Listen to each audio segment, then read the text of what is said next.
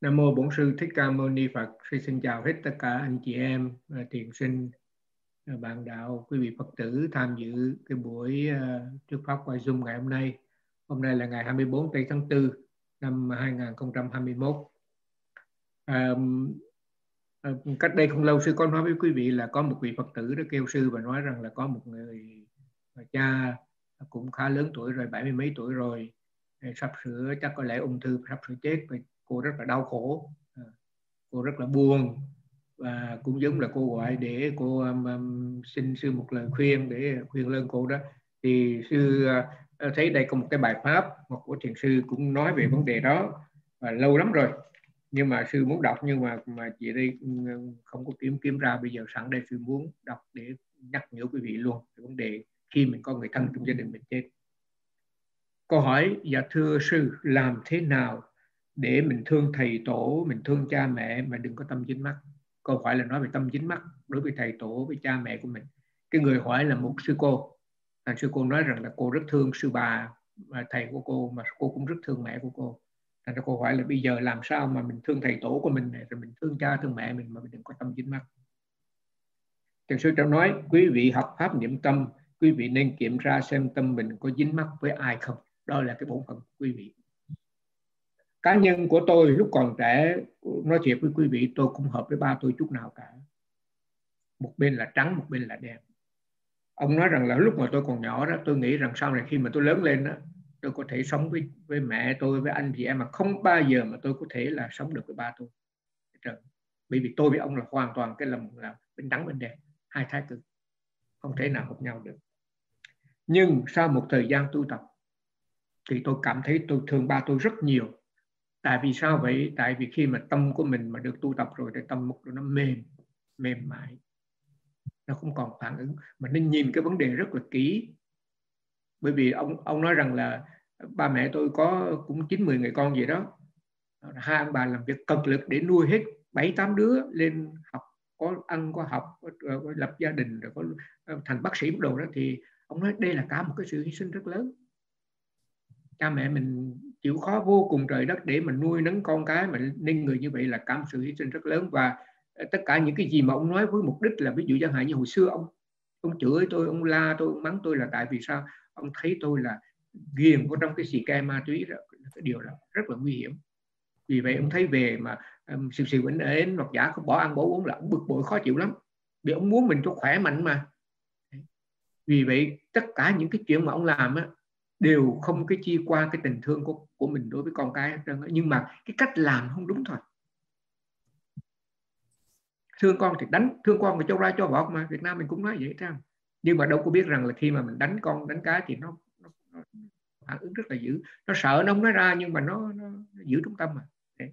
nhưng mà khi mà tôi tu rồi đó thì tôi hiểu tôi càng lúc tôi càng hiểu. Tôi bỏ qua tôi tha thứ rất là dễ dàng những cái gì mà ba má ba tôi đã làm với tôi trong lúc mà tôi còn trẻ là bởi vì sao? Bởi vì tôi hiểu rất rõ là cái này làm vì cái tình thương của cha đối với con thôi, chứ không phải là ông ghét gì mình hết trơn. Và lúc bây giờ là tôi thấy là tôi thương thật sự tôi thương ông thật sự, chứ không phải tôi đầu môi chót lửa tôi gặp rồi tôi chào rồi nói gì mà trung tâm thôi, mà lúc bây giờ tôi thương ông thật sự. Tuy thế, khi ông ba tôi sắp mất, tôi ngồi bên cạnh thích thú quan sát xem cái đến cái chết nó đến như thế nào. Đây là lần đầu tiên tôi ngồi gần một người chết thôi, chứ chưa bao giờ thấy điều này vì vậy khi mà tôi biết ba tôi hấp hối, sắp sửa chết, thì cho gia đình kêu tôi về. Tôi đang ở chùa, gia đình kêu về và tôi về thì tôi ngồi thường trực bên ông, hãy là ăn uống là sinh hoạt là không thôi. Còn bình thường là tôi cứ ngồi bên cạnh nhắc nhở ông tu tập là vậy đó. Biết biết sắp sửa đi rồi. Tôi thích thú quan sát xem cái chết đến như thế nào. Tâm tôi không một chút buồn bã, một chút thương tiếc nào cả. Tôi cũng chẳng sợ hãi vì ngồi cạnh một người sắp sửa tắt hơi. Tôi nói được như vậy nhờ tâm có sự hiểu biết. Tâm tôi hiểu rằng mỗi chúng sanh có nghiệp của họ, sanh lão bệnh tử là chuyện tự nhiên xảy ra cho tất cả mọi người. Ông Sư Xuân nói tôi ngồi bên cạnh ông à, ba tôi đấy, mà tôi không có không cảm thấy gì đấy, mà sợ hãi, mà tôi cũng muốn cảm thấy buồn bã nữa. Bởi vì tôi biết ba tới giờ là ba tôi phải đi thôi. Vì thầy tôi đã đi rồi này Thì tới phiên ba tôi này, rồi cuối cùng tới tôi nữa. Và mẹ tôi cũng sắp sửa đi nữa. Thì cái chuyện đó là mỗi người kêu bằng là ai tới phiên người đó là phải ra đi thôi, chứ không có không thế nào mà đi cưỡng trở lại được. Đây là một cái tiến định đi tới. Tôi càng tu tập tôi hiểu. Sanh ra rồi thì bây già già phải đau đau rồi cuối cùng phải chết. Tất cả mọi người đều phải chấm dứt cái cuộc sống của mình bằng cái chết thôi. Không thể nào mà tránh đi đâu được hết trơn vì vậy tôi cũng chẳng sợ hãi chút nào hết trơn và tôi ờ, biết rằng là gì đây? Tôi làm cái gì được? Làm cho ba tôi vào lúc này này. Nhắc nhở ông cũng tu tập này từ khi ông trút hơi thở cuối cùng là may ra cầu mong rằng là ông đi với cái tâm an ổn rồi ông sẽ tái sanh vào nơi yên vui. Thì đó là cái điều mà tôi có thể làm được thôi vì vậy ông thầy sư ngồi đó. Và ông cứ nhắc nhở ông thầy. Ông thầy ba của ông thầy thì niệm về anapana tức là niệm hơi thở. Thì ông cứ lâu thấy ông nói ba trở lại với, với, với, với hơi thở ba trở lại với thở. Nhắc nhắc ông thở thở. Và phút cuối cùng thì ông nói ông đi cũng rất là nhẹ nhàng. Ông hít vô vài rồi ông thở ra rồi cuối cùng thì ông đi. Tất cả đều xảy ra một cách tự nhiên và tôi cũng nghĩ rằng nếu đã xảy ra cho thầy tôi để cho thầy xảy ra cho ba tôi thì chắc chắn tới phiên tôi tôi cũng sẽ chết. Thì khi mà ông thiền sư ông nói một cách một vui vẻ tự nhiên như vậy thì có một cái cô cái cô mà cái cô mà hỏi cái câu rằng thì cô nói một câu cô nói rằng là thưa sư nếu đặt trường hợp tụi con chắc là tụi con khóc lên khóc một cách tức tưởi lắm. Tại vì ngồi gần cha gần mẹ mình sắp phải chết mà sao mà mà, mà yên miễn ổn tâm mà tỉnh táo được? Nếu mà tụi con ở gần ngồi gần cha mẹ con giống với thầy là chắc là tụi con chịu nổi tức tưởi mà khóc ông thường thương nói khóc than vãn, thương tích có ích gì nào đâu. Mình khóc người ta vẫn chết như thường. Mình thương người ta vẫn chết như thường. Bởi vì cái, tới giờ ta đi rồi, mình níu kéo gì được nữa đâu. Thưa sư, không phải là là là là, mà là con muốn, nhưng mà nước mắt tuôn ra một cách tự nhiên. Đâu phải là mình muốn đâu. Có muốn đâu, nhưng mà ngồi gần cạnh cha mẹ mẹ sắp chữa cha sắp chữa chết thì tự nhiên nước mắt tuôn ra. Ông thầy sư nói, nếu tâm của bạn không phiền não, tâm của bạn không cố ghế làm sao bạn khóc được? Như vậy cái sự kiện mà bạn đang khóc này này, cho thấy là cái tâm của mình đang phiền não bị cố ghế tâm không phiền não vì tâm có trí tuệ, vì vậy khi có trí tuệ thì tâm nó chấp nhận một cách thoải mái, nhẹ nhàng, không sao cả. Cái chết nó tới là một cái chuyện tự nhiên. Hiểu rất là rõ ràng như vậy. Và ông thiền sư ông nói ông nói sẵn đó luôn thì ông ông nói rằng là tôi ước mơ một điểm tôi ước mơ rằng là tôi làm, là làm sao cho quý vị tu tập để có sự trí tuệ và sự hiểu biết. Ngày hôm nay tôi, ông không dám nói cái câu đó ra, nhưng mà trong này nó nói một cách kêu là à, hiểu hiểu là, hiểu ngầm rằng là đó, tôi đã tu, tôi đã hiểu rồi này. vì vậy tôi ngồi gần bên cha tôi, sắp sửa mà chết, tâm tôi vẫn bình thản như thường. Và ta còn hoan hỷ vui vẻ để quan sát cái chết nữa. Thì tôi cũng mong rằng là quý vị tu tập để có trí tuệ, để có sự hiểu biết. Rồi quý vị cũng như vậy tôi ước mơ làm sao cho quý vị có được sự hiểu biết, có được sự trí tuệ xuyên qua sự tu tập của quý vị. Khi bạn có trí tuệ, bạn có hiểu biết thật sự, mình sẽ làm cái gì, mình sẽ nương tựa, sẽ nương nhờ vào trí tuệ này. Ở đây gọi là nương nhờ lấy pháp đó quý vị. Khi quý vị tu tập mà quý vị có trí tuệ trí tuệ là một cái một cái một cái thiện tâm, thì mình nương nhờ vào trong cái thiện tâm này. Trí tuệ này là pháp bảo, mình nương nhờ vào nơi pháp bảo là vậy nhờ có trí tuệ do đó trí tuệ dạy cho mình chỉ cho mình cách thức làm thế nào làm thế nào mà xử lý nói cái gì làm cái gì nên hay không nên ờ, tốt không tốt thích hợp hay không thích hợp vân vân và vân vân. Tất cả đều được trí tuệ nó, nó hướng dẫn giúp đỡ mình hết trơn. Có câu Phật ngôn có nói rằng hãy đương tựa nơi chính mình có nghĩa là những thiện pháp bạn tích lũy được nhờ sự tu niệm. Và những thiện pháp này là không gì hơn là chánh niệm là trí tuệ kham những tinh tấn. Tất cả đều là thiện pháp hết trơn có cái câu người ta nói rằng, về nương tựa nơi pháp bảo. Pháp bảo là gì? Pháp bảo tức là những cái phẩm chất của tâm. Những pháp chất của tâm này, hành giả có được nhờ cái sự tu tập, chứ không phải ai cho mình hết. Mình có được trí tuệ là do mình tu tập mà. Mình có được sự kham nhẫn cũng do mình tu tập. Mình có được cái sự mà kêu bằng là ờ, mà mà mà tinh tấn cũng do sự, tất cả những cái sự tu tập mình đã đưa tới những cái cái phẩm chất này. Và đó, và mình nương nhờ vào đó. Mình như mình nương nhờ vào trí tuệ chẳng hạn này mình nương nhờ vào sự kham nhẫn nương nhờ nghĩa là sao? Nhờ trí tuệ, do đó mình hiểu cần phải làm cái gì. Nên nói không nên nói. Nên phản ứng, không phản ứng. Dạy mình liền tức thì. Biết kham nhẫn biết chịu đựng, biết chờ đợi. Tất cả những cái này là đều là những cái phẩm tính của tâm hết trơn. Và ông nói rằng là mình nương nhờ nơi đó. Mình sống được một cách thoải mái, nhẹ nhàng là nhờ những cái phẩm tính nhẹ nhàng của tâm gọi là nương nhờ nơi đó một cái câu hỏi một cái một cái bài pháp thứ hai nữa mà cũng cũng gần cái phần này luôn. Đây là một cái có một cái lần phần tiền pháp liên quan tới cái nhìn đó quý vị. Thì uh, sư chỉ đọc cho quý vị thôi còn uh, quý vị có nắm được cái không thì cái đó là tùy theo quý vị thôi. Thì có một cái cô của tiền pháp cô nói như thế này. Thưa sư có hai vị hành giả. Người thứ nhất thấy nhà bếp gọt gừng chỉ biết nó thấy thấy thấy rồi bỏ qua. Đây là cái người thứ nhất. Người thứ hai thấy thấy vậy suy nghĩ rằng chiều nay có sẽ mình sẽ có nước gừng uống. Rồi ghi nhận sự suy nghĩ này, vậy thì thưa sư, trong hai hành giả người nào thông minh hơn? Một người nhìn nước gừng biết nhìn nhìn nhìn nhìn thôi rồi bỏ qua. Không biết gì hết. Thấy thấy thấy thấy rồi dẹp. Còn một người thứ hai suy nghĩ ô có gừng như thế này thì chiều này thế nào là nhà nhà bàn trai đường đó họ cũng làm nước gừng để mà cho thực sinh bị bị cái giấc rồi giấc buổi trưa, sau giờ cơm rồi họ làm gừng xong xuôi rồi đến 4 giờ rưỡi họ đem lên họ người rót cho người ly uống. Trời lạnh rồi có nước gừng Trường sư nói, mới nghe qua mình có thể cho người thứ hai, tức là người thấy cái sự suy nghĩ và nói rằng, ghi nhận sự suy nghĩ. Mới nghe qua có thể cho người thứ hai thông minh, nhưng câu trả lời như vậy cũng chưa hoàn toàn đúng đâu. Nếu người đầu tiên, tức là người yogi thứ nhất, tức là người hành giả nhất, nhìn đống gừng với tuệ minh sát sinh sát hiểu rất rõ đây là đối tượng là gừng và tâm hay biết thì người này phải giỏi hơn. Hồi nãy cái, cái cô này cô trong cái câu rất nói nhà bếp thấy nhà bếp gọt gừng chỉ biết đối tượng rồi bỏ qua thôi. Nhưng mà ông thiền sư ông nhắc lại làm sao mình biết người ta bỏ qua? Đôi khi người ta nhìn mà ta biết rằng gừng là đối tượng và cái nhìn là cái tâm quan sát. Người thứ hai nhìn đống gừng với tuệ minh sát hiểu rất rõ, đây là đối tượng. Lúc đầu là nhìn là nó gần, nhưng mà khi mà ờ, có cái sự trí tuệ thì nó hiểu gừng này chỉ là đối tượng. Và cái tâm quan sát, đang quan sát được. Tâm hay biết thì người này phải giỏi hơn. Nếu nhìn chỉ nhìn hay không biết gì hết, thì đấy mới là nhìn với là tâm si nếu mình chỉ nhìn nhìn rồi mà chẳng biết gì hết trơn không biết gừng biết đồ không có nói gì hết trơn thì ông nói cái này là nhìn nhìn một cách một cái một ngu ngơ với tâm si tuy nhiên theo ý tôi người giỏi nhất là người là vị hiểu rõ. Đây là đối tượng là cực, có tâm hay biết đồng thời cũng chánh niệm về trong suy nghĩ chiều nay có nước cực. như vậy thì cái người thứ ba này ông nói giỏi hơn là sao này? Thấy đối tượng thấy tâm hay biết mà đồng thời thấy suy nghĩ nói rằng chiều nay sẽ có nước cực. và khi mà nói như vậy thì sao? Thì ông ta sẽ hiểu rằng có một cái sinh hoạt đang xảy ra và đang sắp sắp sắp, sắp tới như vậy thì thiền sư nói rằng, thế như vậy là bạn hiểu được sinh hoạt của tâm này.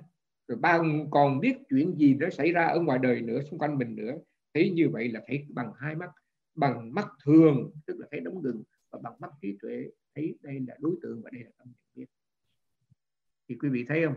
Đây là một cái cái cái lời trình pháp mà thiền sư giảng ra rất là, rất, thấy rất là khó khăn, bởi vì trong cái thấy mình không mình không bao giờ mà mình chánh niệm hết trơn mình thấy thấy thấy vậy thôi, thấy là tham sân si nó khởi sanh lên. Hoặc thấy mình thấy thấy thấy thấy mình dòm mình chẳng biết gì hết. Nhưng mà thiền sư nói rằng khi mình nhìn một cái gì rồi mình nhớ, mình nhắc nhở mình, trong này phải có này, đối tượng này, tâm nhận biết này, đây là phần của trí tuệ. Rồi thứ hai cũng thấy đây là đức gừng và suy nghĩ rằng chiều hôm nay sẽ có nước gừng quan sát cái tâm suy nghĩ. Thì hôm nay nếu mà được như vậy thì cái cái cái cái sự thực tập nó rất là đầy đủ. Nhưng mà thôi thì đây là sư chỉ chỉ đọc một cái phần mà thiền sư chỉ cho mình vậy thôi bây giờ đó, cái bài pháp thứ ba mà sư muốn đọc ngày hôm nay, đó là một cái bài pháp nó có ít nhiều liên quan tới sự tưởng tượng đó quý vị, mà nói rất nhiều về sự xúc động. Tại vì sao? Tại vì cái người mà trình pháp đây là một sư cô này đó, tu tập ở đâu bên ờ, bên ờ, bên ờ, Phước Sơn rồi thì phải. Rồi cô của cô vô của trình pháp thì cô nói rất nhiều về cái tâm xúc động của cô xúc động là trong đó là có những trạng thái tâm buồn ý nộ ái ố buồn vui giận ghét đủ thứ chuyện. Và cô cô nói như thế này cô nói con thưa sư con, con đang đi kinh hành tự nhiên tâm buồn phát sanh không biết tại sao. Tự nhiên tâm nó buồn đang đi kinh hành đó mà tâm nó buồn. Nhớ lại đây chỉ là trạng thái tâm nhớ lại là cái gì? Nhớ lại lời thiền sư dặn. Tâm chỉ là tâm mà thôi. Đây là một trạng thái tâm. Quan sát tâm buồn buồn biến mất đó là cái lời trình pháp đầu tiên. Cô nói rằng cô đang đi kinh hành tự nhiên thấy tâm buồn. Cô cô cô cố tìm lý do tại sao buồn, nhưng mà cô bỏ đi. Cô nói, thôi, đây là chỉ một cái trạng thái tâm mà thôi. Thì nếu mà trạng thái tâm thì quan sát nó. Tâm buồn biết buồn và cái buồn biết đâu Thiền sư nói, tập vậy rất đúng, hành giả tư duy đúng, rồi chánh niệm về tâm. Tâm là tâm, cảm giác là cảm giác, cảm xúc là chỉ là cảm xúc thôi. Tuy nhiên, nếu tốt hơn nữa nếu hành giả biết duy trì chánh niệm, thích thú để hiểu, tại sao cảm xúc này khởi lên? Nó có thể xuất hiện bởi nhiều lý do. Và mình sẽ khám phá ra, hoặc là tại tâm mình dính mắc. Hoặc là xúc động lên tại vì ngã chấp bản ngã tôi ta hoặc là vì sự sợ hãi, hoặc bị sự lo lắng, bị hoặc này, cảm nghe không an toàn, vân vân vân vân thì cái đó càng tốt nữa. Thì ông nói này, bây giờ mình thấy buồn, mình thấy lo, mình thấy giận quan sát nó quan sát đó mình mình, mình đó mà mình quan sát để mình hiểu tại sao nó khởi sanh. Thì không phải là mình mình đặt cái câu hỏi tại sao nó khởi sanh để rồi mình tìm câu trả lời mà mình chỉ tiếp tục quan sát để mình thấy. Ví dụ như à, ông kể ông nói rằng là đó có một lần đó có một cái sư đó người Việt Nam sư ông nói tên như là ai hết trơn đi qua bên bên bên Mã Lai đó. Thì sư này là từ Mỹ qua và đi với tôi tức là ông thiền sư thiền sư Tây Sơn đi ra đi qua bên Mã Lai đi tham dự một khóa thiền. Thì khi mà tới cái chùa ở bên Mã Lai đó thì sư chủ trì á, nói ra cho hai vị biết rằng là à, thôi à, bây giờ đã có à, sư à, thầy Tây Sơn đi ra từ miếng điện qua và có sư này là um, sư gì đó là assistant cho thầy thì tôi bây giờ trong mọi chuyện tôi đã sắp xếp rồi tôi cần phải đi Sri Lanka trong một hai bữa nữa tôi sẽ đi Sri Lanka tôi đi Tích Lan tôi không còn ở đây nữa. Thì thôi bây giờ tôi đã sắp xếp mọi chuyện rồi. Vậy là hôm nay thầy đi rồi có một vị thị giả người Việt Nam mà từ bên Mỹ qua nữa thì tất cả mọi người đều tốt đẹp. Thì thôi bây giờ quý vị ở lại trong một hai ngày nữa mà nếu tôi không có gặp quý vị thì tôi xin chào với quý vị bây giờ luôn. Nói như vậy. Đó thì sau khi mà, mà, mà chào hỏi xong xuôi rồi thì ờ, ông thường sư đi về ông làm công việc của ông thì cái sự vị thị giả người Việt Nam cũng đi về. Nhưng mà sau đó đó vị thị giả đã đóng cửa suốt hai ba ngày luôn ngay cả thiền sư lại kêu cũng không biết không tại sao ra không ra được. Thì cuối cùng sư mở cửa người Việt Nam thì mở cửa. Và sư nói rằng là sư sở dĩ mà sư đóng cửa là khi mà sư nghe sư trụ trì nói rằng sư trụ trì sẽ đi Sri Lanka đó, thì sư này rất là sợ. Bởi vì nó không đi Sri Lanka rồi mình ở đây rồi lỡ tuổi Muslim tức là hồi giáo nó vô nó giết mình làm sao tại vì trước khi mà ông tới mà, mà, mà, gì đây à, Mã Lai đó ông thấy bên trên báo nói rằng là cái người Muslim ở đâu đó không biết, vừa mới giết hai ba người Mỹ. Và ông là quốc tịch Mỹ nữa. Việt Nam Việt Nam nhưng quốc tịch Mỹ thì nó biết Mỹ là nó giết à. Ông suy nghĩ như vậy. Vì vậy ông đâm ra ông sợ hãi rất là dữ và ông đóng cửa phòng ông đi ra. Thì thiền sư vô gõ cửa ông một lần, hai lần mà thấy ông mở thì thôi, đến khi ông ra rồi thiền sư hỏi, tại sao sư đóng cửa vậy? Ông nói con đóng cửa là tại vì con sợ quá. Và tại sao sư sợ? Thì ông nói lại cho thì quý vị thấy cái sự mà gì đây, cái cái thái độ của mình nó phát xuất từ sự sợ hãi mà sư này không có thấy, không có nhìn cái sự sợ hãi. Sư giải thích vậy. Sư không nhìn cái sự sợ hãi mà cái sự sợ hãi tới, sư co cụm lại. Và sư tự bảo vệ mình bằng cách đóng cửa. Sư đóng cửa, đâu có yên đâu. Sư đóng cửa, sư không phải mở cửa thôi. Tại lần sau nếu sợ hãi phải quan sát sự sợ hãi, rồi tìm ra lý do tại sao mà mình sợ hãi. Và cái lý do thì quá rõ ràng rồi tại vì nó nói rằng ông này em đi rồi mình Muslim Muslim nó vô đi giết mình sao? Đi má lái mà. Thì ông thường xương nói, ông ông nhắc, ông nói là khi có một cái trạng thái tâm nào khởi sanh, buồn, vui, giận, ghét, sợ hãi, bức xúc, lo lắng, buồn phiền, phải nhớ quan sát cái đó. Và khi mà quan sát rồi thì phải duy trì chánh niệm thích thú, rồi sau để hiểu tại sao những cái cảm xúc này nó khởi sanh. Vì một lý do nào đó. Và ông nói giúp mình có rất nhiều lý do có thể xảy ra. Ví dụ sợ hãi là một lý do dính mắc là một lý do. Rồi gì nữa? À, chấp ngã là lý do khác và cảm nghe không an toàn như trường hợp cái sư mà Việt Nam vừa rồi đó. Thì đấy là những rất nhiều lý do mà làm cho những cái uh, tâm của mình nó bị những cái cảm xúc nó khởi sanh. Một khi đã hiểu thì lần tới sự xúc động sanh lên chỉ nhìn nó là nó biến mất ngay. Trong khi mà nó xảy ra như vậy mình đừng có bỏ qua và mình cố gắng mình duy trì chánh niệm để mình hiểu tại vì sao nó khởi sanh. Đó là mình, mình tập thôi tìm được không không không hay không là cái không thành vấn đề. Mà ông nhắc vậy quan sát cái cảm xúc của mình. Ví dụ chẳng hạn mình lo lắng này ông nói trong trong trường hợp nữa này là buồn thấp âm buồn này thì bây giờ quan sát cái buồn. Và cứ tiếp tục quan sát nữa. Nó mất cũng tiếp tục quan sát qua thử nó nói cái gì. Nó nói cái gì điều đó có nghĩa là tại sao nó khởi sanh. Tại vì mình suy nghĩ cái gì do đó mà cái cái cảm xúc này nó sanh lên. À, mục đích của sự duy trì chánh niệm là để học để biết cái gì đang xảy ra. Sự quan sát tâm thường xuyên nghe tâm nói nghe tâm lầm bầm sẽ giúp chúng ta là hành giả hiểu tại sao phiền não này dấy khởi. Như vậy thì bạn muốn hiểu tại sao mà phiền não này dấy khởi tại sao mà bây giờ mình buồn phiền bực bội như thế này tại sao mà mình lo lắng như thế này tại sao mình như vậy thì, thì nó phải có một cái lý do nào đó. Và thường thường thì ông nói rằng là muốn biết cái lý do nào đó là phải quan sát cái trạng thái tâm mà đồng thời cái quay thử tâm nó suy nghĩ cái gì. Từ đó mình hiểu là tâm của mình nó nó nó, tại sao mà nó buồn phiền, nó bực bội hay là nó sợ hãi, lo lắng. Bây giờ đây mời quý vị nghe cái câu trình pháp thứ hai. Câu này, trong này nó có cái sự tương tự trong đó. Chắc có lẽ đọc quý vị cũng sẽ thấy được tức thì. Thưa sư, lúc còn ở Việt Nam và tập trong một cái thiền viện cô này của ở Việt Nam và cô tập trong một cái thiền viện ở bên Việt Nam sau giờ ngồi, con đi, con thiền đi, tức là con tập đi được một tiếng thì thấy tâm rất là yên lắng nhẹ nhàng. Con, giờ con kể lại là hồi đó là con ở Việt Nam, con tập, con đi theo một khóa thiền đó. Cũng năm mười ngày thì gì đó, được một giờ đi, một giờ ngồi. Thì sau cái giờ ngồi thì con đi kinh hành. Và khi đi được một tiếng đồng hồ xong rồi thì thấy tâm con tự nhiên nó yên lắng, nó nhẹ nhàng vô cùng. Bỗng nhiên thấy ánh sáng ban mai rực rỡ lên cùng với tiếng chim hót và và cây hoa lá chung quanh tâm nói, tôi là ánh nắng, tôi là chim, tôi là cây, tôi là hoa. Suy nghĩ xong như vậy, tự nhiên xúc động dâng lên, khóc to như con mất mẹ. Đi kinh hành xong rồi, tâm rất nhẹ nhàng, yên lắng. Thoải mái quá. Tự nhiên thấy ánh sáng, ban mai cái cây, thấy cối, thấy chim rồi vậy. Tự nhiên nghĩ rằng, ta là tôi là ánh sáng, tôi là chim, tôi là cây. Nói nghĩ như vậy thì tự nhiên tâm nó xúc động, nó tràn lên và khóc lớn như con mất mẹ. Khóc nhưng tâm không buồn mà vui, vì mình hiểu, vì nghĩ rằng mình đã được trạng thái vô ngã. Vì thấy tưởng tượng không? Gần 5 phút tâm nói, đây là tưởng, thế là xúc động biến mất đây là cô kể là cái kinh nghiệm của cô đã tập ở bên Việt Nam. Hồi nãy là, cái hồi nãy cô nói cô đang đi kinh thành và cô thấy buồn, thì cái đó nó xảy ra bên miến điện bây giờ cô nói rằng là ở bên Việt Nam nó cô đi kinh thành và cô thấy như vậy như vậy.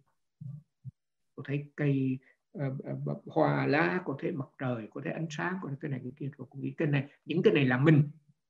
Và khi mà suy nghĩ như vậy thì tâm của cô nó xúc động lên và nó khóc không sùng đọc tới đây sư còn nhớ có một lần đó. Sư có bảo lãnh cho một người có một sư sa di đó đi qua bên tu tập ở bên miến điện đó quý vị. Cũng đi qua tập cái thiền này đó thì mình à, bên thiền viện sư bên tập trên thiền quan tâm này. Thì sư này đó cũng giỏi lắm. Có cặp ông tập có những cái rất là hay. Đó thì sư thấy cái cái potential cái khả năng của sư này có thể là tiến bộ lên nhiều nữa. Do đó mà sư bảo lãnh cho sư đi qua bên thiền viện sư mình tập thiền lúc bây giờ rất, rất là ít người còn ít lắm. Nghĩa là vô trình pháp với, với thầy thiền sư Tejaniya là chỉ còn hai ba người thôi à. đó thì ông vô thì ông quay cũng giống như bạn bè mấy sư với nhau rồi ông nằm ngửa rồi ông nghe rồi. Thì có một lần khi nhớ. Sư này vô truyền pháp mà nói như thế này. Thưa thiền sư ông nói sư sư dịch lại. Thưa thiền, thưa thiền sư tôi đang ngồi yên tự nhiên tâm tôi rất yên lắng nhẹ nhàng. Sau khi mà tôi tập được 15 20 phút tâm tôi yên lắng nhẹ nhàng. Tự nhiên tôi nhìn thấy xung quanh tôi là cả một cái không gian rất lớn. Trong đó con người có đất. Và tôi nghĩ rằng tôi là không gian tôi là trái đất tôi là người. Tôi là tất cả mọi người hết. Ờ, vũ trụ này và tôi là một tôi và vũ trụ là một. Vũ trụ và tôi tôi và vũ trụ là một. Nói thiệt lúc đó mà sư nghe sư cũng khom sư cũng biết ờ, ông nói cái gì. Thì khi mà sư vừa thông thông dịch xong trong thiền sư nói ông này ông nói rằng là đó ông ngồi thiền ông thấy ông và vũ trụ là một uh, thiền sư à. thì ông thiền sư ông quay trở lại ông hỏi ông tập cái gì vậy? Ông tập thiền gì vậy? Cái, cái ông sa di đã trả lời và con tập vipassana vipassana không có vũ trụ không có tôi ta không có người nào hết. Tất cả đều là danh sắc thôi. Ghép cái đó đi. Đây là lần đầu tiên mà sư nghe một người mà trình pháp mà nói vậy đó.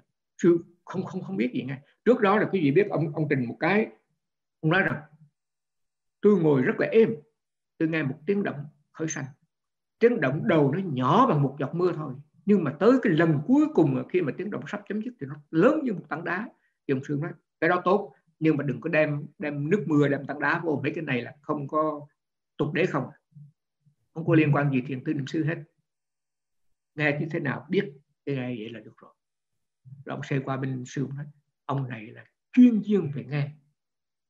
Cái tâm của ông rất là mạnh khi nghe vì vậy ông, ông bắt đầu một tiếng động ông khởi đi từ tiếng động ông nghe rất là nhỏ giống như những giọt mưa rồi tới lớn bằng như một tảng đá. Thì đủ biết là cái sức nghe của ông rất là mạnh nhưng mà nếu như mà để trong đi vô đó nhiều thì rất là nguy hiểm, bởi vì nó nắm bắt các tục đế mà. Khái niệm tục đế mà rất, ra cái niệm tục đế thì nguy hiểm lắm. Thì đó, thì sau này khi mà lần thứ hai mà ông trình cũng phải lần thứ hai nhưng mà sau nhiều lần rồi, đến khi mà trước khi về thì ông trình cũng nói rằng là ông về vũ trụ là một, ông về với những người xung quanh thế gian xung quanh là một. Thế gian và vũ trụ, ông dùng hai chữ. Tất cả đều, tôi là thế gian thế gian là tôi tôi là vũ trụ vũ trụ là tôi. Thực sự hạt liền thực thi ông tập cái gì vậy? Ông tập thiền vipassana ông tập cái gì tập vipassana không có vũ trụ không có thế gian gì hết. Tất cả chỉ là danh và sắc mà thôi. Đó thì là sau khi mà cô này cô ờ, uh, truyền pháp như vậy thì làm cho nhớ sực là cái chuyện mà đã xảy ra cái đó mấy năm trước. Đến thiền viện Sủ Minh cô nói là ở bên Việt Nam.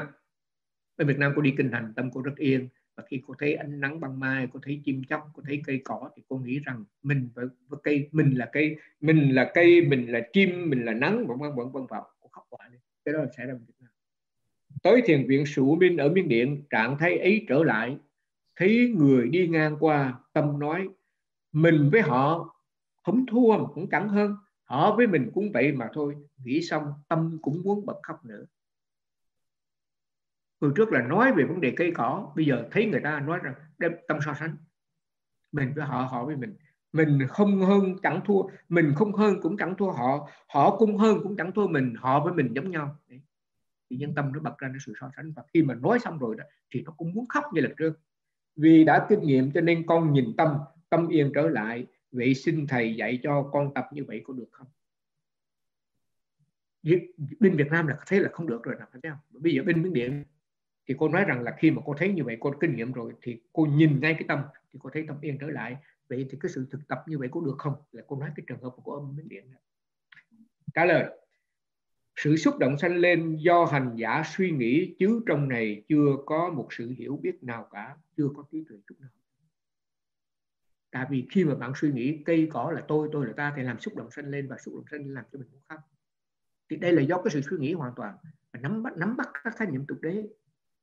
Cây cỏ mà, cây cỏ rồi mặt trăng, mặt trời rồi vậy đó toàn là khái niệm không à thì bây giờ cũng vậy, bên qua thế bên thì là cũng người, cũng ta, rồi cũng hơn, cũng thua, cũng so sánh.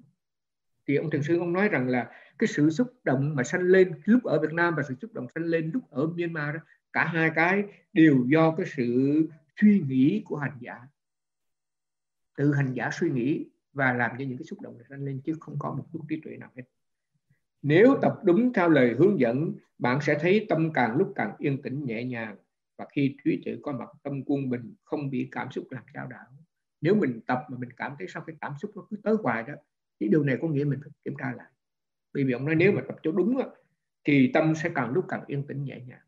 Và khi mà trí tuệ có mặt tức là tập mà đúng thì trí, trí, ờ, có chánh niệm thì có trí tuệ nó phát sinh tâm sẽ quân bình sẽ không có việc bị có cái cảm xúc nó khởi lên và nó làm cho tâm mình trao đảo nếu hành giả có sự hiểu biết thấy rằng thân tâm này được tạo nên bởi cái gì? Bởi danh và sắc. Và danh sắc là những pháp tự nhiên đó là trí tuệ. Thay vì tư duy như tôi vừa nói thay vì thay vì tư duy là thay vì suy nghĩ rằng tất cả đều là hiện tượng tự nhiên. Có cái gì trong này hết trơn không có tôi ta không có cây cỏ chim chóc gì hết á. Tất cả đều là danh và sắc mà thôi.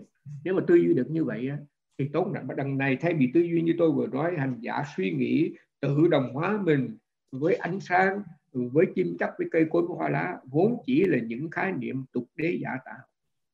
Phải nhiều cái sự đồng hóa này, cái sự suy nghĩ này làm được xúc động được khởi sanh khi hành giả có trí tuệ, có sự hiểu biết thực sự sẽ thấy rằng không có tôi ta trong thân tâm này. Nó chỉ là danh và sắc pháp mà thôi. Danh sắc luôn luôn vận hành theo luật tự nhiên của chúng. Và lại vì thường sư nói rằng là nếu như mà cô tập cho đúng thì cô không bao giờ có cảm xúc hết biết mà đọc đúng mà có chánh niệm mà có trí tuệ nữa thì khi mà cảm xúc nó tới trí tuệ nó biết rồi là nó dòm một cái là tự nhiên đứng lên ngay tức thì. Không thể nào mà có cái chuyện mà xúc động mà khóc lên mà đến đổi mà khóc lóc khóc là một cái, cái trạng thái xúc động mà đã quá để rồi đấy. Mình đã suy tới nghĩ lui rất là nhiều thì bây giờ nó mới khóc. Vì vậy khi có trí tuệ nó bắt được liền tức thì thì nó đây là tưởng này. Nó, khi mà nó nói như vậy thì làm sao mà mà mà, mà nghĩ tiếp nữa? Không nghĩ tiếp nữa thì làm sao xúc động lên lên, xúc động lên lên thì khóc, lóc um sùm và ông nói rằng là nếu mà tập đúng thì sẽ như vậy. Vậy thì thưa thiền sư, thế nào là thực tập đúng này xin ngài nói lại cho chúng tôi biết. Ông nói rằng nếu như mà cô tập đúng là không có không có cảm xúc lên như vậy đâu. Mà và trong cái trong cái buổi mà trong cái nói thì ông cũng có giải thích sơ sơ là ông nói rằng nếu mình hiểu rằng tất cả đều là danh và sắc tất cả chỉ là thân và tâm thôi, không có tôi ta gì hết tại mình trong này mình đem tôi ta vô này? Cây là tôi, mặt trăng là tôi, mặt trời là tôi. Cũng giống như ông kia rồi thế gian, vũ trụ này là tôi, vân vân vân vân. Thì mình nói mấy cái đó mình so sánh, mình đem tôi ta vào trong rồi đem cái bản ngã vào trong là thế nào phiền não nó khởi sanh. Nếu mình không hiểu rằng tất cả đều chỉ là danh và sắc mà thôi. Vậy thưa thiền sư, như thế nào là thực tập đúng đây? Thiền sư trả lời, khi tu niệm, nếu sự thực tập làm cho hành giả cảm nghe, tâm càng lúc càng thoải mái, nhẹ nhàng tập đúng. Như vậy là cái sự thực tập mình nó càng mình càng tập bao nhiêu thì tâm mình còn nhẹ nhàng thoải mái rồi không chấp tước nữa bớt rồi. Có thể là lời ăn tiếng nói của mình nó cũng chưa có được một trăm phần trăm nhưng mà trong cái nội tâm của mình đó, nó bớt cái sự chấp tước. Nó bớt cái sự dính mắc. Nó bớt cái sự bám víu. Bớt thôi chứ không phải nói hết đâu nha. Thì ông nói rằng khi mà càng bớt cái đó thì càng tâm càng nó càng nhẹ nhàng còn mình tập mà cách sao mà mình thấy càng thấy sự tập càng khó. Thấy thân mệt mỏi thấy tâm lẫn lộn thấy chán nản tức là có gì không đúng với sự tu niệm này. Đấy ông nói vậy thì quý vị tự kiểm tra lấy. Quý vị tập một cái phương pháp nào mà quý vị thấy mệt mỏi quá rồi. Quý vị cảm thấy chán nản nhiều quá. Tâm quý vị nó lẫn lộn tâm quý vị nó không hiểu cái gì hết trơn thì cái này là quý vị phải cẩn thận. Cái này là có cái gì sai trái trong sự thực tập của quý vị nhưng mà nếu một người mà tập mà cho đàng hoàng tử tế rồi thì ngay cả khi mà hành giả mà cảm thấy tâm mình thoải mái nhẹ nhàng, vắng lặng thì hành giả cũng phải quan sát những trạng thái tâm này để chúng, để thấy rằng chúng luôn luôn thay đổi. Thì quý vị thấy ông đẩy mình lên thêm một cấp nữa. Tu sao để tâm mình thoải mái, nhẹ nhàng? Tâm mình ngồi thiền mình thấy vui vẻ, thoải mái lắm. Không có cái gì xảy ra, không thấy nặng nề gì hết trơn nhưng mà ngay cả khi mà nó thoải mái, nó nhẹ nhàng, nó an lặng rồi, mình cũng phải quan sát nữa. Để rồi sao? Để rồi mình thấy rằng cái gì mà an lạc nhẹ nhàng này, nó cũng phải thay đổi không có last long. Đừng có bám vào đó. Ngược lại, khi hành giả không quan sát, không duy trì chánh niệm, tâm sẽ bám vào những trạng thái này để hưởng. Bây giờ niệm lực sút giảm, phiền não sẽ có dịp tràn ngập tâm. Bởi vì sao? Tâm mong mỏi chờ đợi những trạng thái quan lạc này xảy ra nhiều hơn, thường xuyên hơn. Và nếu không xảy ra đúng như vậy tâm sẽ bắt đầu cảm nghe bức xúc, khổ sở vậy. Thì nói rằng là gì đây? Ngay cả khi mà mình tập thiền mà mình cảm thấy an lạc, thấy nhẹ nhàng, thấy thoải mái thì mình cũng phải quan sát trạng thái tâm này. Bởi vì đây là những cái trạng thái tâm mà rất là, người ta rất là thích quan sát để thấy nó thay đổi.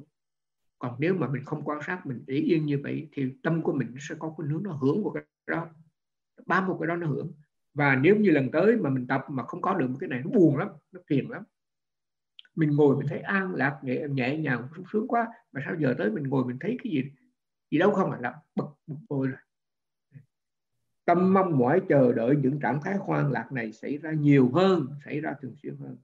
Và nếu nó không xảy ra đúng như vậy tâm bắt đầu cảm nghe bức xúc khổ sở chán nản bỏ tu bỏ cuộc luôn muốn tu được đó khổ của cái cái cái cái cái cái, cái, cái, cái người mà có những cái trạng thái tâm an lạc. Vì vậy khi mà nghe là thưa sư, con tập bây giờ con thấy tâm vẫn là yên tĩnh, an lạc.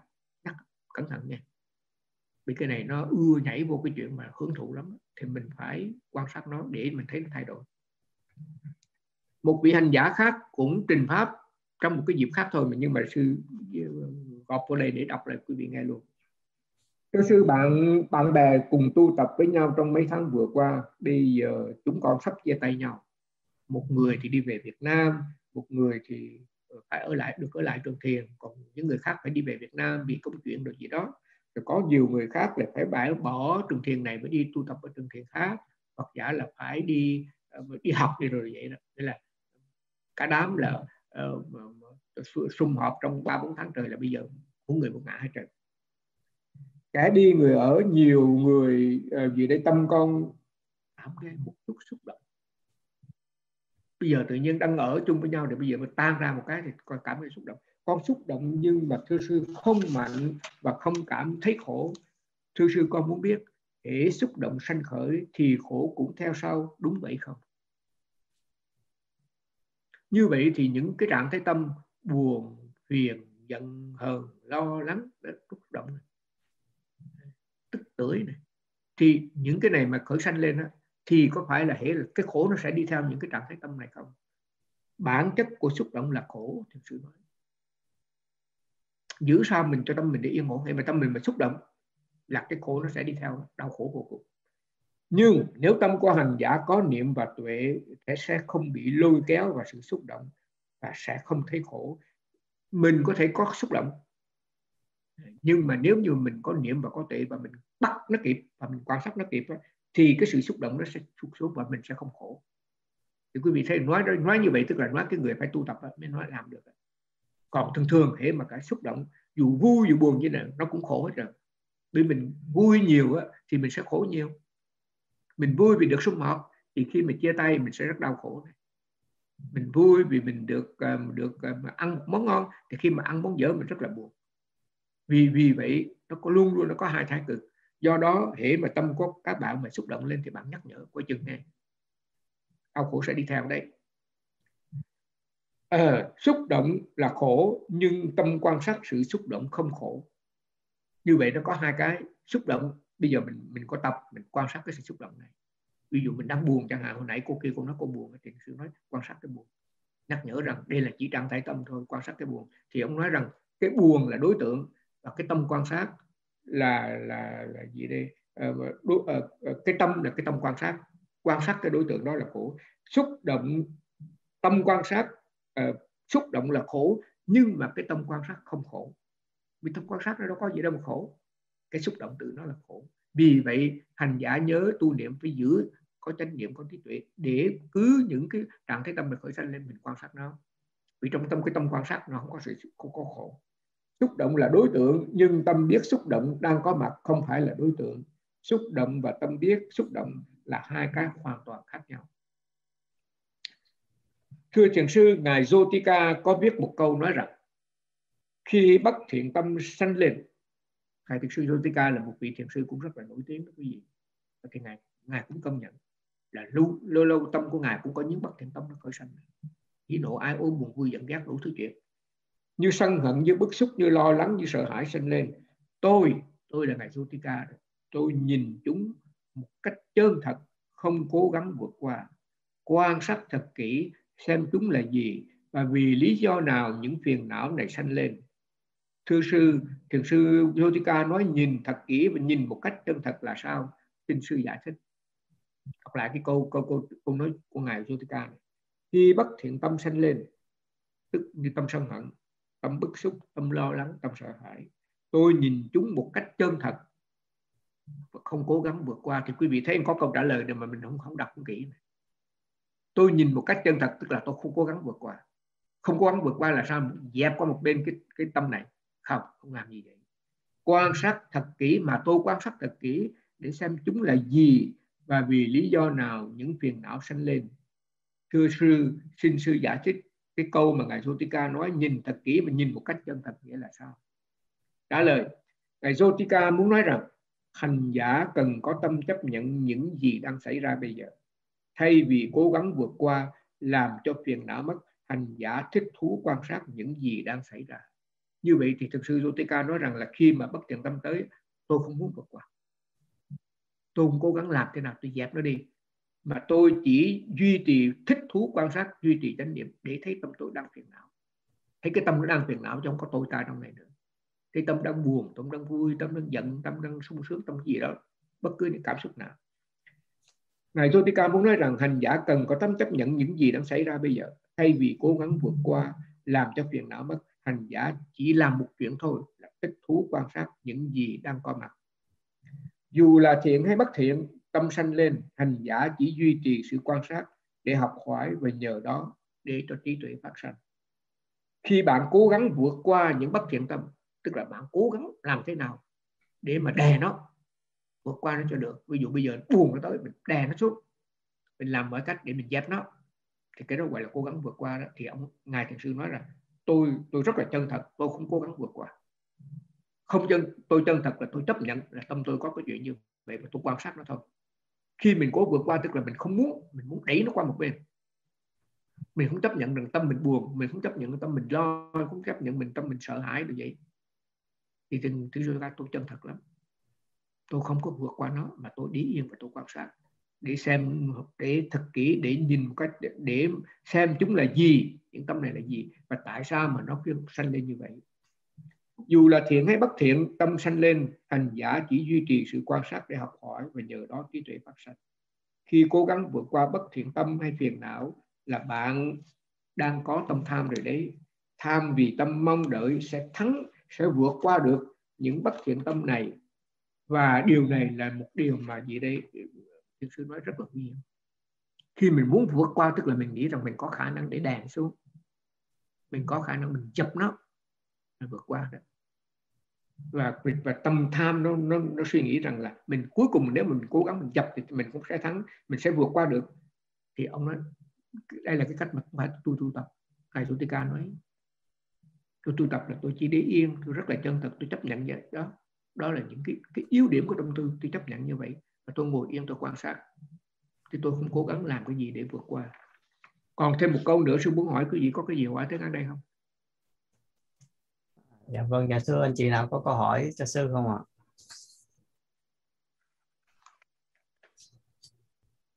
Dạ thưa chưa có ai có câu hỏi có ai trơn ha. Một phật thôi sư đọc tiếp cái câu cuối cùng nữa. Ờ, thưa sư một lần có một lần sư nói dù bạn tu ở đâu ở Myanmar ở Việt Nam hay ở cơ nơi nào khác người tu tập chỉ cần có hai pháp đó là xả upekha và niệm là sa tí. Xin ngài giải thích hai chữ này người dù bạn tu ở đâu, bạn ở Myanmar, bạn tu ở Myanmar, bạn về Việt Nam, bạn tu hay bạn đi một nơi nào khác tu, thì cái người hành thiền đó là cái người mà thiền giả đó, chỉ cần có hai pháp. Pháp thứ nhất là và cái thứ hai là trách nhiệm xin ngài nói thêm, giải thích thêm. Khi tôi nói tỷ xã điều này là có nghĩa là có trí tuệ. Đối với hành giả mới tu, trí tuệ còn quá ít, cho nên phải tu để học thêm nữa căn bản của sự thực tập là khi có chuyện xảy ra, làm cho tâm hành giả bức xúc, bực bội, khó chịu, đau đớn, buồn phiền. Hành giả phải tư duy cho chân chánh để cố gắng chấp nhận rằng tất cả đều là những chuyện tự nhiên và vận hành theo nhân quả. Ông nói rằng là cái việc trước tiên mà tôi nói chữ upekha chữ xã là tôi muốn nói về trí tuệ. Mà cái trí tuệ này của một cái người mà mới tu tập và chi chưa có có, thì bây giờ cái mượn của thiền sư bằng cách suy nghĩ rằng ô tất cả đều là những hiện tượng tự nhiên. Tất cả đều vận hành theo nhân quả hết trơn cái, cái chuyện gì mà bây giờ mình chịu đựng bây giờ là do một cái nhân nào đó đã tạo trong quá khứ. Bây giờ mình phải chịu thôi. Thì mình hiểu được như vậy rồi mình hiểu được như rồi đó lúc bây giờ đó mình duy trì chánh niệm để mà quan sát tâm này.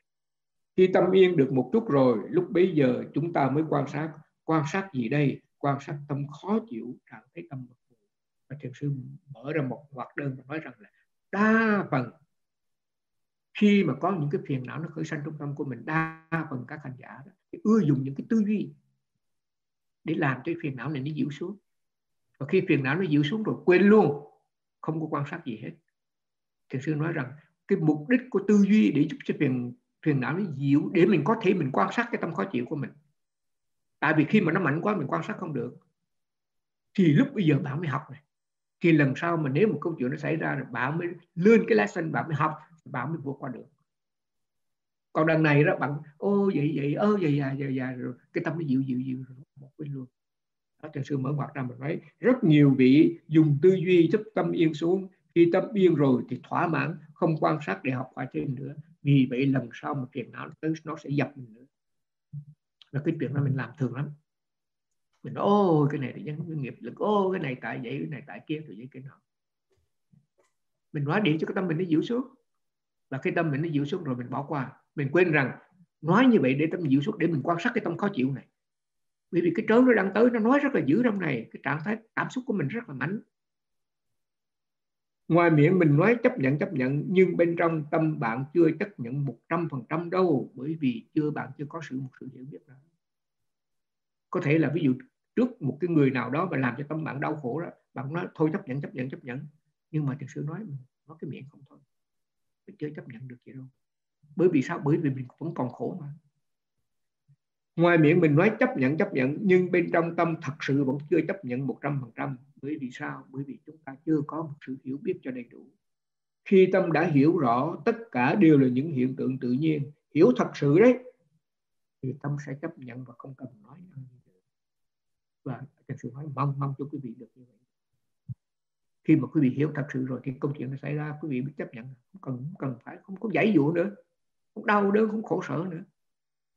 Còn ngày nào mình vẫn còn bực bội mình đau đớn mình khổ sở mình phải chấp nhận chấp nhận cái đó mình yên yên chỗ đó rồi bữa nào nó quay trở lại nữa. Và mà mình thấy nó cứ xảy ra hoài như vậy. Điều đó có nghĩa rằng là cứ khi mỗi lần mà đụng chuyện đó, mình quên cái sự thực tập. Mình quên là mình chỉ biết tập làm sao, mình chỉ muốn làm sao cho tâm mình yên mà thôi, mình không muốn mình ráy rủa với phiền não. Phiền não nó tới mình chịu không nổi, sân hận nó tới mình chịu không nổi, bực bội mình tới không nổi, ai đụng tới tự ái của mình mình chịu không nổi. Mình muốn dẹp qua một bên, mình làm chuyện này, mình làm chuyện kia để cho tâm yên xuống. Mà mình quên rằng tâm yên xuống chỉ là cái giai đoạn đầu tiên để mình làm rồi tâm yên xuống rồi mình phải ngồi yên đó và mình quan sát cái tâm khó chịu này. Lúc bây giờ cái tâm mình nó suy nghĩ rất tiêu cực về đối tượng, nó cái tâm của mình nó rất là đau đớn khổ sở trong này. Hãy quan sát sự suy nghĩ quan sát trạng thái tâm quan cái cảm giác ở trong người. Và tiếp tục quan sát hoài sẽ nghe tâm nó nói cái gì về cái người đó. Và lúc bây giờ mình mới học.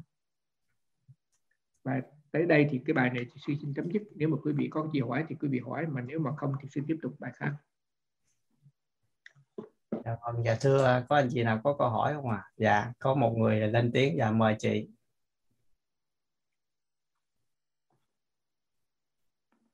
Dạ cái chị nào là Moto 7 G7 ạ? À?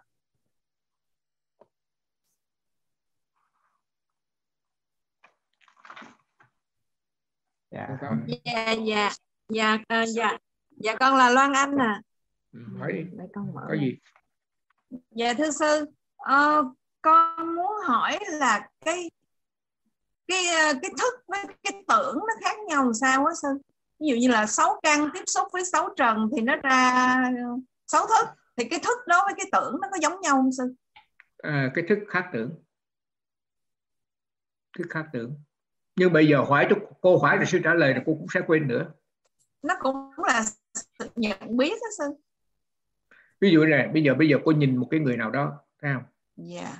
À, cô tưởng tượng rằng là người đó là chắc là họ tới sắp sửa họ giết mình như vậy thì cái việc trước tiên là con mắt của cô nó phải nhìn thấy người đó đã phải không thức ra đang làm việc tâm thấy nó đang làm việc thức đó phải không? cái thức mà có rồi đó thì tâm bắt đầu nó suy nghĩ rằng người này sẽ đau tưởng bắt đầu làm việc thì từ khi tưởng làm việc hành nó tới suy nghĩ uh, làm cái gì hay là nói cái gì hay là hành động như thế nào bốn cái này nó đi một lượt gọi là tứ uh, mà mà uh, bốn cái, cái danh pháp à mình nói về ngũ quẩn nó có năm. Cái này lần này lần trước là sư đã giảng rồi, thấy không? Cô hỏi lại tức là cô nghe chưa, cô kịp bốn cái nó thuộc về danh uẩn. Danh uẩn tức là thuộc về tâm. Sắc là bó này, thọ tưởng, hành thức này. Bốn cái này lên một lượt. Và và cái này nó thuộc trong cái lĩnh vực của vi diệu pháp. Đó là ta phân tách ra cho mình thấy vậy thôi. Chứ còn bây giờ mình nói cho nhiều để rồi mà mình không có, chưa có cảm nhận rồi mình cũng quên thôi. Nhưng mà sư nói này cô thấy một người nào đó và cô nghĩ rằng người đó sẽ tới gần cô và sẽ là hạ hãm hại cô, do đó là cô bắt đầu cô bo cô chạy chẳng hạn. Đó thì là cô nhìn người đó, thức đang làm việc. Thấy gì không? Con mắt nó nhìn mà. Thức làm việc rồi thì cái tưởng nó sẽ làm việc, nó nhận ra người này là ai, một cái xa lạ và rất là nguy hiểm, vân vân vân vân. Thì trong suy nghĩ nó nói, ồ, vậy thì chắc có thể nó tới nó giết mình và mình bỏ mình chạy. Đó. Tức là những hai cái sau là hành đó. Hiểu không? Cái, cái signal của cậu bị yếu thưa sư rồi. À vậy à, mô phật. Cô nghe.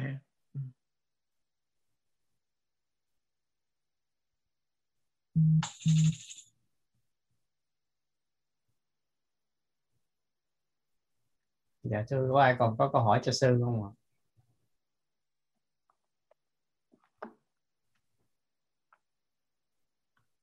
Dạ ngày hôm nay ai cũng hiểu hết rồi thưa sư à, à anh hiểu rằng ha thôi bây giờ sẽ đọc một cái phần này là gì đây? Cái quan kiến cái quan kiến của mình. Đó, cái này trong này là có bản ngã rất là nhiều. Đúng sai phải trái phải như vậy phải như kia phải như nào thưa sư con thấy những suy nghĩ quan điểm sống mà con tự cho là đúng theo sự hiểu biết của con có phải đến từ bản ngã hay không? Và quý vị thấy người ta đánh nhau rất nhiều về cái quan kiến. Người này thì ý như vậy người kia ý như kia vì vậy ông này là ông một ông, ông thầy một vị thầy một vị ờ, tỷ khu ở bên bên hệ phái bắc đông. Thầy hỏi là con thấy có những sự suy nghĩ quan điểm sống mà con cho là đúng hay có phải nó đến từ bản ngã hay không? Câu trả lời chúng ta cần suy nghĩ cách thức mà chúng ta phải sống dù nó đến từ đâu có ngã hay không có ngã. Ông thực sư nói không có nói là có ngã hay không mà ông nói khi mình sống thì mình phải suy nghĩ phải làm cách sao phải muốn phải thực hiện cái, cái câu chuyện phải làm như gì như gì để mình chu toàn cái bổn phận của mình hoặc giả là mình đi để mình đối đãi với những người xung quanh. Chúng ta cần suy nghĩ cách thức mà chúng ta phải sống với những người xung quanh. Dù nó đến từ đâu ngã hay không ngã. Quan điểm sống có thể xuất phát từ bản ngã nhưng cũng có thể là từ trí tuệ nữa. Ví dụ như bây giờ nó mình nói rằng là tôi nghĩ rằng tôi nghĩ rằng cái chuyện này là phải làm như vậy này là mới đúng này còn một cái người mà có trí tuệ nó thấy rằng những cái chuyện làm như vậy trong quá khứ mình đã làm rất là nhiều rồi mà sai rồi, thì bây giờ mình không nên làm, tránh qua bên thôi. Thì học, thì quý vị thấy một bên là từ trí tuệ đến, một bên từ bản ngã tới, cũng có nữa. Nhưng mà cái lý, cái cái cái mà mình thấy mà cái biểu hiệu rất là rõ đẹp mà nếu mà hiểu bằng trí tuệ thì không có sự, không có sự, cái lòng phản bác. Có thể là người ta không có đồng quan điểm với mình ví dụ như uh, hút thuốc uống rượu hay là uh, nói dốc là đồ gì vậy đó thì sẽ rất nhiều người ừ, thích cái đó. Nhưng mà có nhiều người nghĩ rằng không có nên. Mình là người tu hành chẳng hạn mình bớt đi. Mình giữ cái tâm mình yên ổn nhiều hơn là mình đi tiếp xúc mình nói bậy bạ được gì cái cái nọ. Nhưng mà nếu mà người ta nói rằng anh sao bây giờ sống được gì được cái cái nọ? Thì nếu mà cái người mà có trí tuệ sẽ nói gì được chỉ cười thôi. Giải thích mình nếu người ta không hiểu bỏ qua. Còn cái người mà bắn ngã là nó, nó, nó đánh nó, nó cãi tới nơi trốn đây là cái này là sư nói theo theo kinh nghiệm của sư thôi. Quý vị thấy không? Đôi khi người ta bàn luận Phật pháp là cãi nhau như bò bò vậy đó. Sư thấy trời ơi từ lúc mà sư vô tu sư thấy các sư cãi nhau mà nghĩa là từng đứng trên từng thứ ba mà dưới đất còn nghe âm âm cãi nhau. Nghĩa là cãi mà mãi cho thiền sư tới gần bên cạnh cũng vẫn cãi như thường mà, mà có chuyện pháp đâu cái gì nó bị tâm từ nó bị tâm xã à, quan điểm sống có thể xuất phát từ bản ngã nhưng có thể cũng có thể từ trí tuệ. Làm sao để sống cuộc sống tốt đẹp hơn ý nghĩa hơn? Trí tuệ suy nghĩ về điều này và cho cho chúng ta cái con đường đi. Khi mình tu tập có trí tuệ mình nghĩ cái này nên làm cái này không nên làm. Mà cái này cho trí tuệ nó hướng dẫn của mình. Bởi vì sao bởi mình thấy cái sự lợi lạc này cá nhân sư ví dụ chẳng hạn sư thấy có cái chùa rất là khổ ví dụ như vậy. Nhưng mà có nhiều vị khác họ đòi mua đá, mua đất mua đai họ xây cái này cái kia đó thất chuyện của, của ta sư nói. Nhưng mà vì sư đã có một cái chùa rồi dù rất là nhỏ thôi mà, mà sư thấy rất là cực lo lắng rất là nhiều. Và cuối cùng cũng chẳng được lợi gì cho trơn mình không lợi cho mình mà cũng không lợi cho phật tử nữa. Với người phật tử đó họ họ có phương tiện họ tới thì nhưng mà có khi họ tới nhưng có khi họ không đâu phải họ tới hoài được đâu. Và cá nhân mình thì là không có lợi lạc gì bởi vì mình phải lo làm sao mà duy trì mà ra phải, phải sửa chữa rồi phải trả tiền đủ thứ chuyện ở trong đó nữa khổ quá. Vì vậy cá nhân sư sư thường nói rằng có cái chùa rất là khổ. Đó nhưng mà có những người không chịu. Không chịu động họ mình thấy họ làm xây chùa xây chuyện, làm đủ thứ chuyện. Thì thôi cái chuyện là chuyện của người ta. Tôi sư không phản bác, sư chống đối. Thưa sư cô phải tiếp nói rằng, như con có quan điểm sống là phải trung thực, nên khi gặp sự dối trá lừa đảo là không trung thực tâm con phản ứng khó chịu sân hận khởi tập ông thầy này ông nói rằng là đó, tôi là tôi nghĩ rằng là mình sống là phải trung thực. Còn khi mà tôi gặp cái người nào mà lối trá mà dối trá mà lừa đảo như vậy đó tôi thấy được là tôi bực bội khó chịu lắm. Tôi nói liền là tôi sai lắm người đó liền. Trả lời đa phần tâm của chúng sanh đầy phiền não tâm phiền não thì không thể nào trung thực được. Khi mà ông dùng cái chữ trung thực á, thì trường sư nói rằng là sư cẩn thận đấy nha chỉ khi nào mà tâm của sư mà có trí tuệ đó, thì sư mới trung thực. Còn tâm của sư mà đầy cái phiền não là chưa chắc là trung thực đâu. Nó nói trung thực vậy thôi không chưa chắc nữa. Đa phần tâm của chúng sanh đầy phiền não. Hãy tâm mà phiền não thì không thể nào có sự trung thực được. Nếu vì vậy mà chúng ta nổi sân thì chúng ta sẽ nổi sân mãi. Vì sao? Vì xung quanh ta đa phần là phiền não và đa phần là không có chân thật đa phần là không có trung thực. Con tính của con là phải trung thực. Ông sư nói trả lời khi nào mà sư muốn trung thực là sư phải có trí tuệ kìa.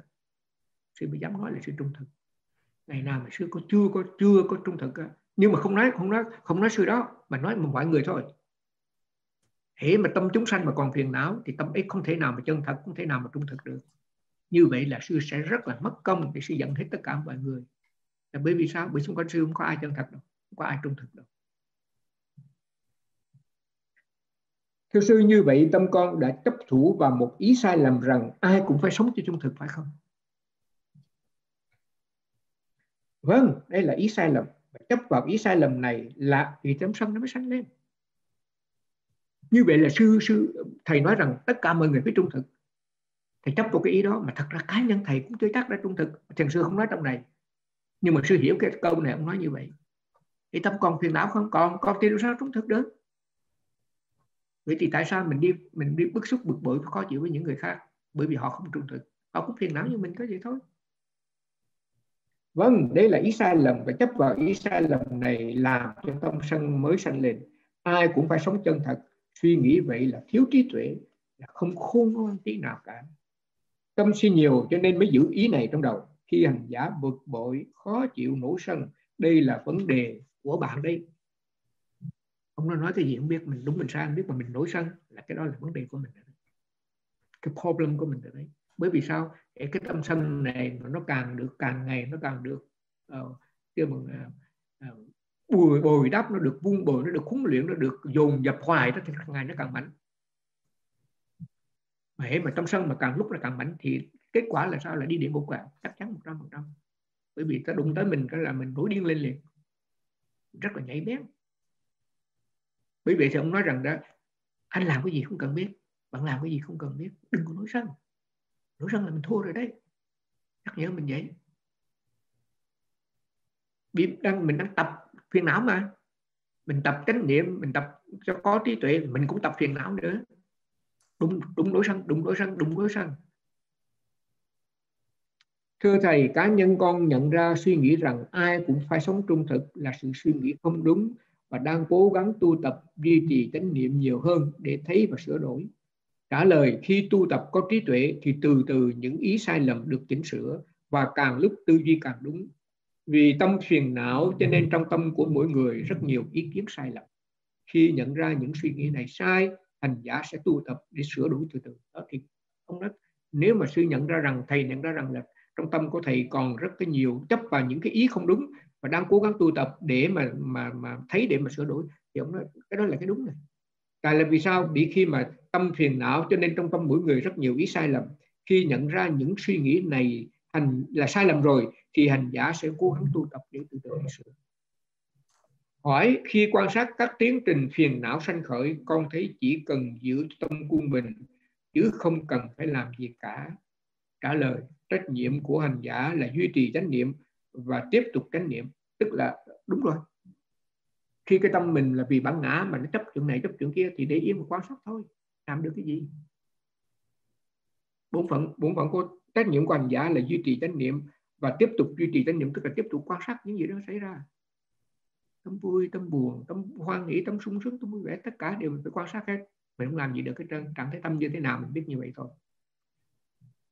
Thưa sư, khi tâm đang bị chấn động, tâm ưa suối mình làm những chuyện này, chuyện nọ, hễ làm theo tâm suối sẽ gặp rất nhiều khó khăn và khó khăn liên tục. Đúng như vậy, càng chạy theo phiền não sẽ gặp nhiều khó khăn như thế. Nhất là cái chuyện mình nói đó, cô chị. Khi mình bực ai, mình tìm cách mình nói cho được. Nói để mình sâu ra cái ý của mình. Vân vân vân vân. Thì nói cái này là mình chạy theo cái tâm phiền não của mình ở đây.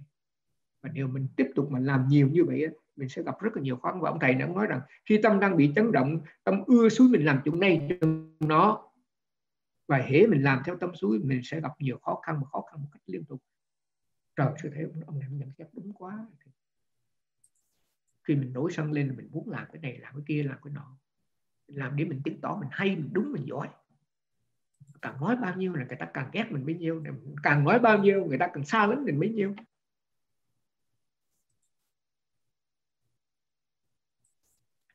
Càng chạy theo phiền não sẽ gặp nhiều khó khăn, và chắc chắn như vậy. Thưa sư, tâm hay biết sự suy nghĩ liên tục thay đổi, cho nên không dính mắc vào chúng và chấp nhận sự thay đổi này. Ông nói, ở, nếu mà thấy được thì tốt lắm. Tâm hay biết sự suy nghĩ liên tục, suy nghĩ tốt, suy nghĩ xấu, đủ thứ chuyện à nên không dính mắc vào chúng, tức là không dính mắc vào những suy nghĩ này. Để dính mắc vào chúng thì chấp vào đó, chấp vào đó thì người nào làm khác là mình đúng ưa. Không suy, không không dính mắc vào chúng. Thiền sư nói, được rồi thì tốt. Rồi suy nghĩ thôi chắc bấy nhiêu cũng đủ ngày hôm nay rồi ha.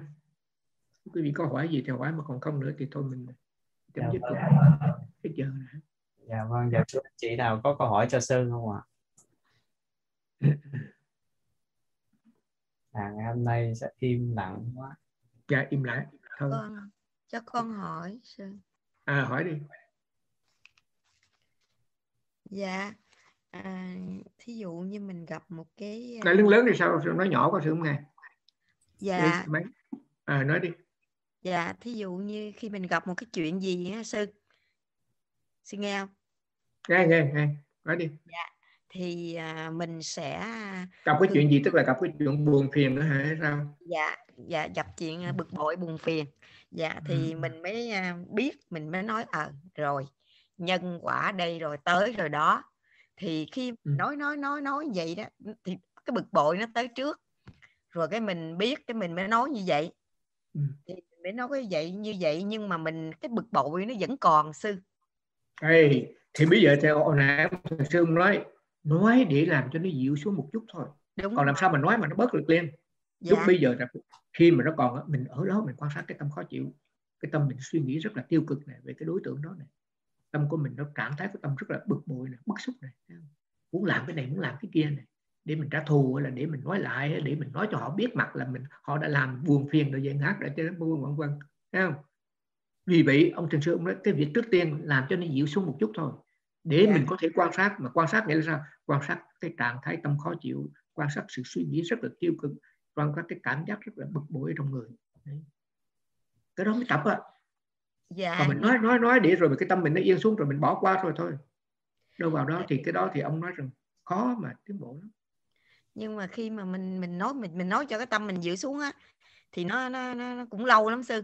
Nó cũng ờ, giống như nó cũng ờ, cũng bực bực bực bực hoài vậy đó. Đó vì vì vậy lúc bây giờ thì nếu mà cô thấy bực bực đó cô quan sát cái bực cô quan sát cái tâm suy nghĩ. À, lúc đó hãy tiếp tục làm nữa chứ đừng có bỏ qua nữa. Đừng có nói Dạ. sao mà nói giờ nói nói hoài mà nó cứ bực bực hoài đó thấy không dạ. Nhớ đó là, gọi là mới, mới gọi là tập chứ.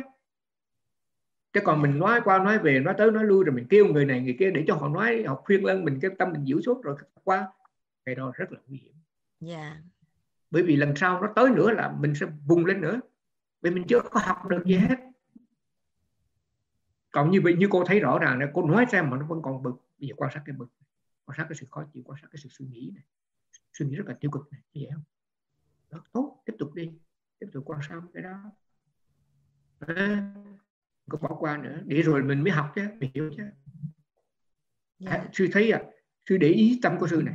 Nó nó ưa bực bội khó chịu. Nó ưa bức xúc khó chịu. Là vì sao? Bởi vì cái người đó mình nhờ họ mà họ không giúp mình. Không? cái đó là dạng ích kỷ. Nhờ nhờ thì nhờ nhưng mà người ta giúp được cái không là cái chuyện của người ta phải không? Dạ. Để mình nhờ mình nhờ người ta không giúp là nó nó cào nhau. Này một sự dòm cái tâm của Cảm ơn- bằng tiện nó ti tiện nó nhỏ hẹp nó ích kỷ. Kể nó nó như thế nào mình nhận ra như vậy thôi. Cảm ơn mình còn sư. tu mà. Rất là cảm ơn sư bữa nay mấy bài pháp này nó, nó, nó hay quá chừng hay luôn. Ừ, cô thì khi nào cũng hay hết trơn mô phật của kim phải bữa nay bữa nay nó hay lắm sư. À được. Rất là Ừ. hay. Dạ con cảm ơn sư mô phật ừ. rồi. Được ha Thôi bây giờ mình hồi hướng công đức đi nha. Dạ vâng. Ừ. Hiền đem công đức này hướng về khắp tất cả, cả đệ tử và chúng chúng sanh đều đều trọn trọn thành Phật. Đạo